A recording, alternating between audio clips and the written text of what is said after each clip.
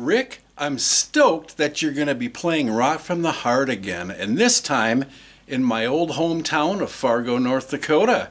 It sounds like it's going to be a lovely affair. Yes, it certainly is. Is it hard work touring for so many years like you've done throughout your career? I'm working hard.